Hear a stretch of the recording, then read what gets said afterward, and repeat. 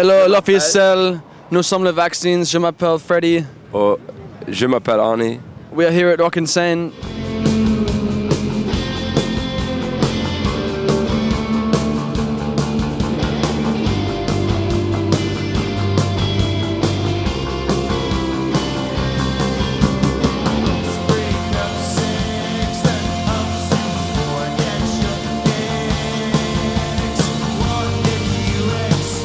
Do you have a special outfit for the festivals? We actually pay someone to do that.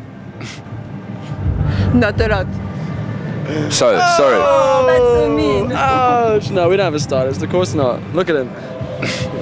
We've just started doing those uh, those pants that just say "What did you expect?" on the front. Oh wow.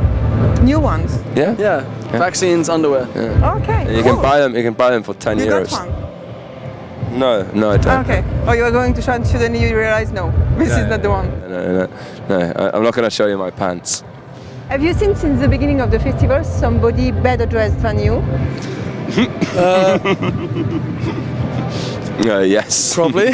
Miles Kane is always very, very well. I have to give it to Miles. He, Yeah, Miles is always very- always very well dressed.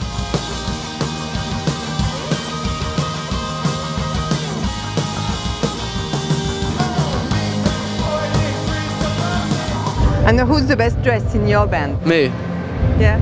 Yeah. Yeah, I can tell. He's, he's, he's vain enough to be. He changes outfits three times a day. Oh my god. Okay. It's not true. Even Yeah, it worse is. than a girl. Yeah. Oh yeah. Yeah.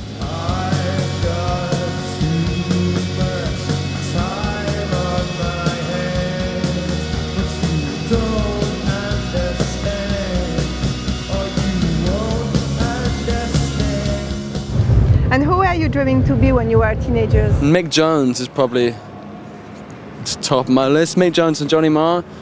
Johnny Marr was a later influence, but like yeah, I think Mick- Mick Jones is a pretty pretty good icon. So, can you now sing 10 seconds of a song of a band who is at the festival?